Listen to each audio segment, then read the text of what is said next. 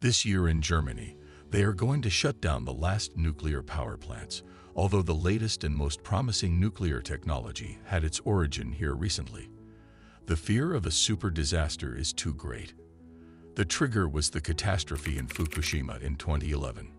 Approximately 100,000 to 150,000 residents had to leave the area immediately, sometimes without ever returning. But the decision to implement the nuclear phase-out in Germany was mainly due to fear and panic. Was the exit a huge mistake? Some supporters of nuclear energy say yes. They say it was climate neutral and clean and provided a decent baseload because it was not influenced by weather, unlike solar and wind power. This is an important aspect, especially in the fight against climate change. However, there are always critics. They'd mention the final storage problem. Some radioactive waste still emits radiation for millions of years. So far, we do not know a single spot on Earth that is safe enough as a long-term storage place.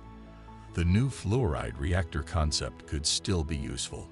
Not only is the concept safer and brings all the advantages of conventional nuclear power technology, but it could also possibly eliminate the final storage problem completely.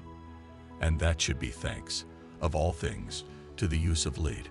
It may be possible. I have read a publication on this novel concept.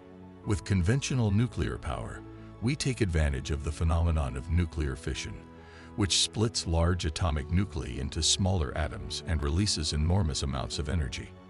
A large part of it is in the form of heat, which evaporates water in the reactor. The water vapor drives a steam turbine, which generates electricity by means of a generator. This concept is known as a boiling water reactor, but it has some disadvantages. The structure is not optimal and limits the efficiency of the system. Even the materials used are anything but advantageous. But why is that? Dr. Andreas Schmitz, who is very active on his interesting YouTube channel about energy technology and batteries, he explained that enriched uranium in solid fuel rods serves as the fuel. In these fuel rods, there are different isotopes of uranium. Isotopes are types of atoms with the same number of protons, but different numbers of neutrons in the nucleus. Their chemical properties, such as which elements they bind with, are the same.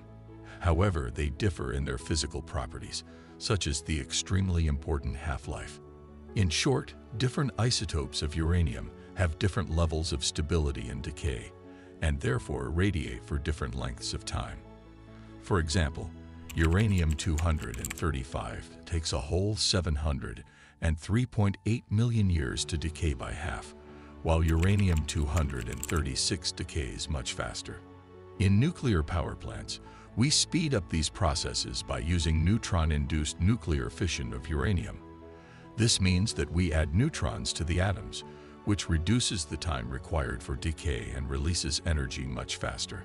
Unfortunately, this does not work for all isotopes in the reactor. Certain isotopes, such as uranium-235, can be split, but others, such as the stable isotope uranium-238, are left unused and disposed of as nuclear waste.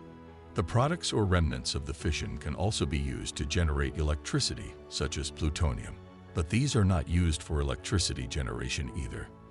But this is exactly where the dual fluid concept comes into play. The fuel plays a crucial role in this reactor concept.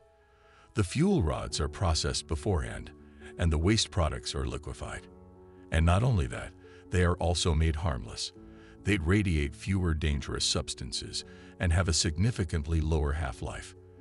The existing nuclear waste in Germany should already be enough to meet the annual requirement for up to 366 years. However, the concept is not yet widely known not least because it is so innovative.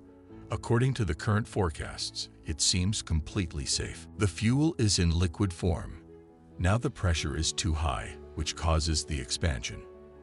In turn, the heat is reduced in a more natural, self-regulating cooling effect. The reactor is more efficient than conventional nuclear power plants. By the way, the coolant also plays a key role. It is used as a heat transfer medium. That is, the heat transfer medium and fuel are separated from each other. The coolant, which is liquid lead, flows through several passages through the reactor core. The coolant heats up and channels it into other areas of the system, where electricity is generated with the heat. Of course, you can use the concept for various application areas. It would be conceivable to use this form of reactor at some point for climate-neutral cargo ships or as a heat generator for the liquid metal battery. The liquid metal battery requires an operating temperature of almost 430 degrees Celsius to perform at its best. Under these circumstances, it is the most efficient battery in the world. But that is another topic. Besides the gigantic advantages of the dual fluid concept, there are also some criticisms. There are also some criticisms of the dual fluid reactor concept. Of course, there is also a facility to test it. Some of the current criticisms are that the concept is just theory and practice tests have not been announced yet. Component tests will be carried out in 2023 and a test facility will be put into operation in 2026. However, it is too early to report a breakthrough before the results are available. It is absolutely possible that the whole concept actually just works on paper, although the publications on the topic are extremely promising. Another problem is that, for example, other similar projects for research of liquid metal reactors had to fight with massive corrosion problems. And not only that, the expansion of renewable energies is progressing very quickly, and the costs are going down. Renewable energies are already significantly cheaper than conventional nuclear power, with around 4 to 11 cents per kilowatt hour. Conventional nuclear power costs 13 cents per kilowatt hour. With follow-up costs, you can even get to 34 cents per kilowatt hour. It is not unlikely that the dual fluid reactor costs will be significantly higher at first. The technology is not mature yet, and it could actually be that the reactor will never be financially worthwhile. Perhaps we should not be too pessimistic given this criticism, although the system may never contribute to electricity production. Perhaps it is the optimal solution to solve the repository problem, the main problem of nuclear power, which had its origin in war technology.